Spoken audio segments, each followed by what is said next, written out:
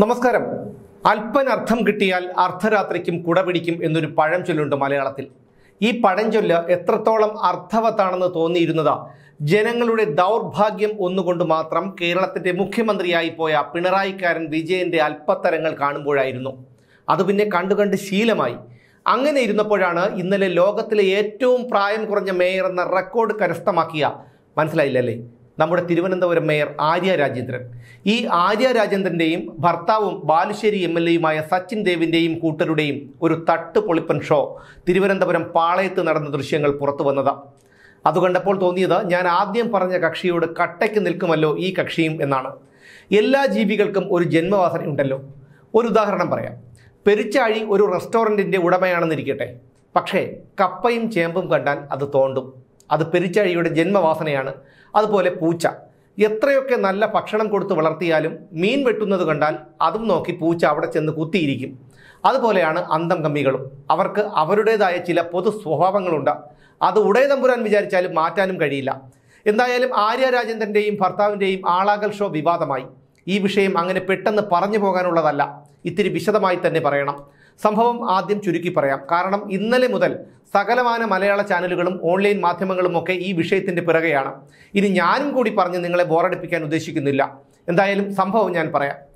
തൃശ്ശൂരിൽ നിന്ന് ഒരു സൂപ്പർ ഫാസ്റ്റ് ബസ് തിരുവനന്തപുരത്തേക്ക് വരുന്നു. സമയം രാത്രി പത്ത് മണിയോട് അടുത്തിരിക്കുന്നു പട്ടത്ത് നിന്ന് ബസ്സിന്റെ പിന്നാലെ വന്ന ഒരു ചുവന്ന Wagon R car P M ജിക്കും പ്ലാമോഡിനും ഇടയിലുള്ള വൺ വേയിൽ വെച്ച് ബസ്സിനെ ഓവർടേക്ക് ചെയ്യാൻ ശ്രമിക്കുന്നു. സ്ഥലമില്ലാതിരുന്നിട്ടും ഇടതുവശത്ത് കൂടി ഓവർടേക്ക് ചെയ്യുന്നത് തെറ്റാണെന്നറിഞ്ഞിട്ടും ആ വൺ വേയിൽ കാർ ഇടതുവശത്ത് കൂടി ബസ്സിനെ ഓവർടേക്ക് ചെയ്ത് മുന്നിൽ കയറി. പിന്നെ ബസ്സിന് കടന്നു പോകാൻ കഴിയാത്ത തരത്തിൽ വേഗത കുറച്ച് ബസ്സിന്റെ മുന്നിലൂടെ പച്ചയ്ക്ക് പറഞ്ഞാൽ ഒരു പട്ടി ഷോ നടത്തി. പിന്നീട് പാളയം സാഫല്യം കോംപ്ലക്സിന് മുന്നിൽ വെച്ച കാർ ബസ്സിന് കുറുകെ വെച്ചു. കാറിൽ നിന്ന് ഒരു യുവാവ് ചാടിയിറങ്ങി. നിന്റെ അച്ഛന്റെ വകയാണോടെ റോഡ് എന്ന് ആക്രോശിച്ചു. അച്ഛന് പറഞ്ഞപ്പോൾ ഡ്രൈവറും തിരിച്ചു പറഞ്ഞു. വാക്കേറ്റമായി. ഇതിനിടയിൽ മുണ്ടുടുത്ത ഒരാൾ ബസ്സിൽ കയറി ഇരിപ്പുറപ്പിച്ചു. മോഡേൺ വസ്ത്രം ധരിച്ച രണ്ട് സ്ത്രീകളും രണ്ട് പുരുഷന്മാരും ഡോറിനടുത്തു ചെന്ന് ഡ്രൈവറുമായി വാക്കേറ്റമായി. ഡ്രൈവറെ പുറത്തേക്ക് ഇറക്കാൻ ശ്രമിച്ചു. ഇതിനിടയിൽ ബസ്സിൽ കയറി പറ്റിയ മുണ്ടുടുത്തവൻ ഡ്രൈവറോടൊരു ചോദ്യം. നിനക്കെന്നെ അറിയാമോ? ഇല്ല എന്ന് ഡ്രൈവറുടെ ഉത്തരം. അതോടെ മുണ്ടുടുത്തവന്റെ സകല നിയന്ത്രണങ്ങളും തെറ്റി കാറ്റുപോയി. ഞാൻ എം എൽ എ ആണടാ എന്ന് മുണ്ടുടുത്തവൻ. അടുത്ത ഊഴം ഡോറിനടുത്തു ചെന്ന് ഷോ കാണിച്ചു കൊണ്ടിരുന്ന മോഡേൺ ഡ്രസ്സുകാരിയുടേതായിരുന്നു നിനക്ക് എന്നെ അറിയാമോടാ? ചോദ്യം മുണ്ടുടുത്തവന്റെ തന്നെ. പക്ഷേ അത് മെയിൽ വോയിസ് ഇത് ഫീമെയിൽ വോയിസ് ആ ഒരു വ്യത്യാസം മാത്രം. എന്തായാലും ഡ്രൈവർ മറുപടി പറഞ്ഞു ഇല്ല. കൊച്ചു കുട്ടികൾക്ക് പോലും എന്നെ അറിയാമല്ലോടാ. മോഡേൺ ഡ്രസ്സിൽ നിന്ന് ജ്വലിച്ചു. ജ്വലിക്കുന്നതിനിടയിൽ പറഞ്ഞു ഞാൻ മേയറാണടാ അതെ അത് സാക്ഷാൽ ആര്യ രാജേന്ദ്രനായിരുന്നു. ഇതിനിടയിൽ മേയർ ആരെയൊക്കെയോ ഫോൺ ചെയ്യുന്നു ആകെ ബഹളം.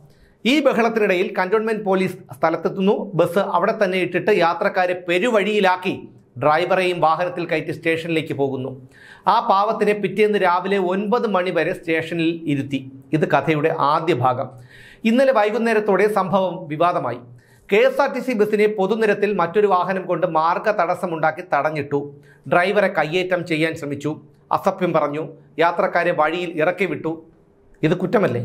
അതും ഇതൊക്കെ ചെയ്തത് ഭരണകൂടത്തിന്റെ ഭാഗമായ ഒരു നിയമസഭാ സാമാജികനും ഒരു നഗരസഭാധ്യക്ഷയുമായിരുന്നു എന്നോർക്കണം. ആര്യ രാജേന്ദ്രൻ അപ്പോൾ തന്നെ ഗതാഗത മന്ത്രി കെ ബി ഗണേഷ് കുമാറിനെ വിളിച്ച് പരാതി പറയുന്നു. അല്പസമയത്തിനുള്ളിൽ K S R T C vigilance സംഭവ സ്ഥലത്തെത്തുന്നു. Sachin Dev M L A D G പിയെ തന്നെ നേരിട്ട് വിളിക്കുന്നു. ദാ വരുന്നു കന്റോൺമെന്റ് പോലീസ്. എന്നിട്ട് എൽ എച്ച് യദു എന്ന ആ കെ എസ് ആർ സി ഡ്രൈവറെ പോലീസ് വാഹനത്തിൽ കയറ്റി മദ്യപിച്ചിട്ടുണ്ടോ എന്നറിയാൻ ആശുപത്രിയിലേക്ക് കൊണ്ടുപോകുന്നു. പരിശോധനയിൽ മദ്യപിച്ചിട്ടില്ല എന്ന് തെളിഞ്ഞു. പിന്നെ സ്റ്റേഷനിലേക്ക് കൊണ്ടുപോയി. പിറ്റേന്ന് രാവിലെ വരെ സ്റ്റേഷനിൽ ഇരുത്തി. എന്തായാലും ആര്യ രാജേന്ദ്രന്റെ പരാതിയിൽ യദുവിനെതിരെ പോലീസ് കേസെടുത്തിട്ടുണ്ട്? ഡ്രൈവർ തങ്ങളെ നോക്കി. അതായത് തന്നെയും കാറിലുണ്ടായിരുന്ന സഹോദരന്റെ ഭാര്യയെയും നോക്കി ലൈംഗിക ചേഷ്ടകൾ കാണിച്ചത്രേ.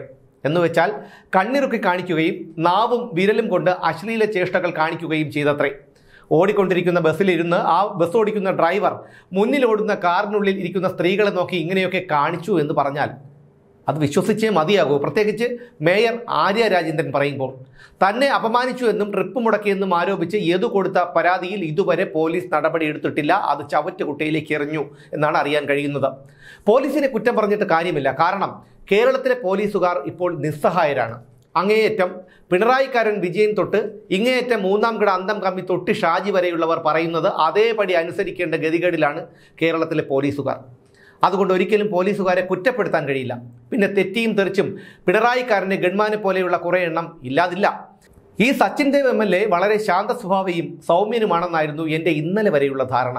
പക്ഷേ ഇന്നലത്തേതുകൊണ്ട് എന്റെ ആ തോന്നൽ മാറിക്കിട്ടി. അല്ലെങ്കിലും മുല്ലപ്പൂമ്പൊടി ഏറ്റുകിടക്കും കല്ലിനുമുണ്ടാം ഒരു സൗരഭ്യം എന്നാണല്ലോ കുഞ്ചൻ നമ്പ്യാർ പാടിയിട്ടുള്ളത്. ഇനി നമ്മൾ മനഃപൂർവം മറക്കുന്ന ചില കാര്യങ്ങളുണ്ട്. ഒരു K S R T C bus തൃശ്ശൂരിൽ നിന്നും തിരുവനന്തപുരത്തെത്താൻ കുറഞ്ഞത് എട്ടര മണിക്കൂറോളം വേണം. ഈ ട്രാഫിക് ബ്ലോക്കും ഹൈവേ നിർമ്മാണവും കണക്കിലെടുത്താൽ ചിലപ്പോൾ അതിലും കൂടും. ഇത്രയും ദൂരം ഇത്രയും മണിക്കൂറുകൾ ഒരു K S R T C bus ഓടിച്ചു വരുന്ന ഡ്രൈവറുടെ ശാരീരികാവസ്ഥ ഊച്ചാളിത്തരം കൊണ്ട് സ്ഥാനമാനങ്ങൾ കിട്ടിയവർക്ക് മനസ്സിലാകില്ല. കാരണം അവരൊന്നും ഇന്നേ വരെ ജീവിതത്തിൽ കുനിഞ്ഞൊരു കുപ്പ എടുത്തിട്ടുണ്ടാകില്ല. ശരീരമനങ്ങി ജോലി ചെയ്ത് പത്ത് പൈസ കൈനീട്ടി വാങ്ങിയിട്ടുമുണ്ടാകില്ല.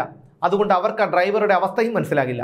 മണിക്കൂറുകൾ തുടർച്ചയായി ഡ്രൈവ് ചെയ്ത് യാത്രക്കാരെ സ്ഥലത്തെത്തിച്ചിട്ട് കുറച്ചു നേരം എവിടെയെങ്കിലും കിടന്നുറങ്ങാം എന്നായിരിക്കും ആ പാവം ഡ്രൈവറുടെ ചിന്ത. കാരണം രാത്രി രണ്ടര മണിക്ക് അയാൾക്ക് അടുത്ത ഡ്യൂട്ടിയുണ്ട്. തിരിച്ച് വീണ്ടും തൃശ്ശൂരെത്തണം. ശമ്പളമോ ഇല്ല. പിന്നെ നിവൃത്തി കേടുകൊണ്ടാണ് പലരും ഈ ജോലി ചെയ്യുന്നത്. തന്നോട് ഉടക്കിയ കക്ഷി മേയറും എം എൽ എയുമാണെന്ന് അറിഞ്ഞപ്പോൾ ഡ്രൈവർ അവരെ ഫോണിൽ വിളിച്ച് മാപ്പ് പറഞ്ഞു. പക്ഷേ മേയർ അത് ചെവിക്കൊണ്ടില്ല. എന്ന് മാത്രമല്ല നിയമപരമായി നേരിടുമെന്ന് വെല്ലുവിളിക്കുകയും ചെയ്തു. വാഹനം കുറുക്കെയിട്ട് ഡ്രൈവറെ തന്തയ്ക്ക് വിളിച്ചപ്പോഴാണ് അയാളും തിരികെ വിളിച്ചത്. തന്തയ്ക്ക് വിളിച്ചാൽ ഒറ്റ തന്തയ്ക്ക് വിളിച്ച ആരായാലും കേട്ടുകൊണ്ട് നിൽക്കില്ല തിരിച്ചു വിളിക്കും. ഞാനെങ്ങാനും ആയിരുന്നെങ്കിൽ തന്തയ്ക്കും തന്തയുടെ തന്തയ്ക്കും അയാളുടെ തന്തയ്ക്കും വിളിച്ചേനെ. ബാക്കിയൊക്കെ പിന്നീട്. ഇനി ആര്യ രാജേന്ദ്രനെ കുറിച്ച് തിരുവനന്തപുരം മേയറായതിനു ശേഷം തിരുവനന്തപുരം നഗരസഭയിൽ നടന്നതൊക്കെ പലരും മറന്നു കാണില്ല. ഇടാത്ത ആറ്റുകാൽ പൊങ്കാലയുടെ മാലിന്യം നീക്കം ചെയ്യാനെന്ന പേരിൽ നടത്തിയ അഴിമതി. കോവിഡ് കാരണം ഭക്തർ വീടുകളിൽ പൊങ്കാലയിട്ടപ്പോൾ നിരത്തുകളിൽ മാലിന്യം ഇല്ലാതായി. എന്നിട്ടും മാലിന്യം നീക്കം ചെയ്യാനായി ഇരുപത്തിയൊന്ന് ലോറികൾ വാടകയ്ക്ക് വിളിച്ചെന്ന വകയിൽ തട്ടിയത് മൂന്ന് ലക്ഷത്തി അൻപത്തി ഏഴായിരത്തി എണ്ണൂറ് രൂപ. അറുപത് തൊഴിലാളികൾ ശുചീകരണ പ്രവൃത്തികൾ നടത്തിയതിനെ ഇരുന്നൂറ്റി അൻപത് പേരാക്കി തുക തട്ടിച്ചു കോർപ്പറേഷൻ. തൊഴിലാളികൾക്ക് പൊറോട്ടയും കോഴിയിറച്ചിയും ഏത്തപ്പഴവും കുപ്പിവെള്ളവും വാങ്ങിയെന്ന വകയിൽ നാൽപ്പത്തി രണ്ടായിരത്തോളം രൂപ വേറെയും. നികുതി വെട്ടിപ്പും എൽ ഇ ഡി കരാർ തട്ടിപ്പും കെട്ടിട നമ്പർ അഴിമതിയും പട്ടികജാതി ഫണ്ട് തട്ടിപ്പും ജാതി ധരിച്ച് കായിക ടീമുണ്ടാക്കിയതും അക്ഷരശ്രീ തട്ടിപ്പുമൊക്കെ ആര്യ രാജേന്ദ്രൻ മേയറായതിനു ശേഷം തിരുവനന്തപുരം നഗരസഭയ്ക്ക് വാർത്താ പ്രാധാന്യം നേടിക്കൊടുത്ത വിഷയങ്ങളാണ്. തീർന്നില്ല. മുൻ രാഷ്ട്രപതി രാംനാഥ് കോവിന്ദിന്റെ തിരുവനന്തപുരം സന്ദർശന വേളയിൽ അദ്ദേഹത്തിന്റെ വാഹന വ്യൂഹത്തിനിടയിലേക്ക് തന്റെ ഔദ്യോഗിക വാഹനം ഇടിച്ചു കയറ്റിയ ആളാണ് ഈ പറയുന്ന ആര്യ രാജേന്ദ്രൻ.